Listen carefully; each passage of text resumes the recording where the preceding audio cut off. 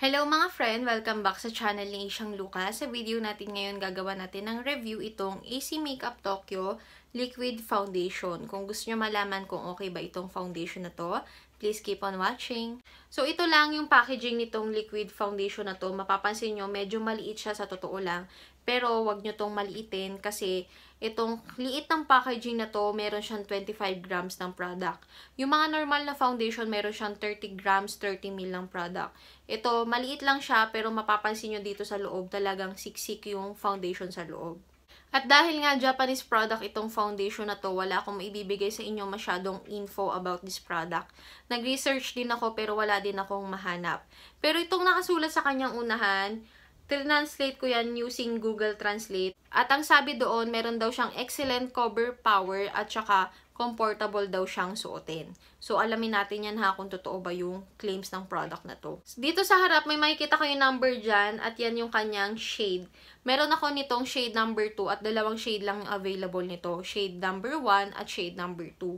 Sadly, itong shade number 2 ay maputi pa din sa akin. Meron akong kayumanggi skin tone. So, kung medyo mas maitim pa kayo sa akin, sigurado hindi to magiging okay sa inyo.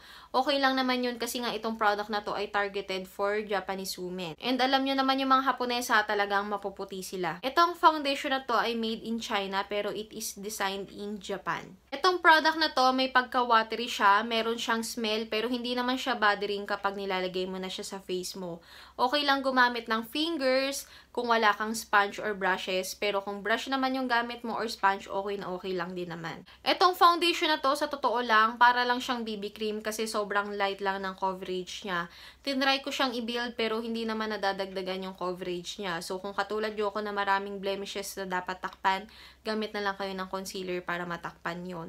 Pero kahit naman nagbi-build ako ng coverage, napaka blendable pa din niya. Lightweight lang naman siya sa face, medyo sticky lang siya at saka dewy siya kapag titingnan mo. So, kung ayaw mo ng dewy, ng sticky sa mukha, kailangan mo talaga siyang iset ng powder. Kung gusto mo naman madagdagan yung kanyang coverage, pwede ka naman gumamit ng powder foundation.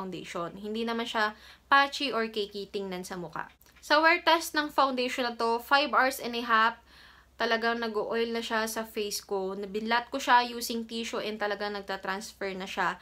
May kita mo na nagwe-wear off na siya sa ibang parts ng face ko. Dito sa may ilong ko talaga natanggal na siya doon. May ibang parts na nagkikiki at saka yung aking under eyes ay nagkikrease. Pero kahit naman na ganoon, intact pa din naman yung makeup sa ibabaw niya. Yung blush, yung highlight, yung contour nandoon pa din naman. Ang verdict ko sa product na to, kung dry skin ka, kung flawless ang iyong balat, wala kang masyadong dapat takpan, Japan. At kung malamig sa inyong lugar, tulad dito sa Japan, nagwi-winter, okay na okay to para sa iyo.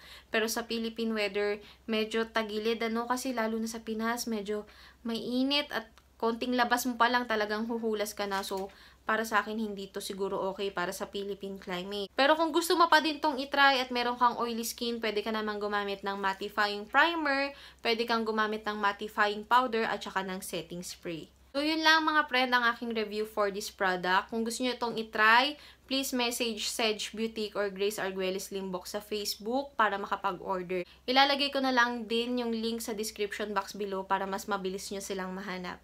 So, yun lang guys for this video. Like kung nakatulong sa inyo, comment down below kung meron pa kayo mga video suggestion. And guys, please subscribe to my channel. Yun lang. See you on my next one. Bye! Mwah!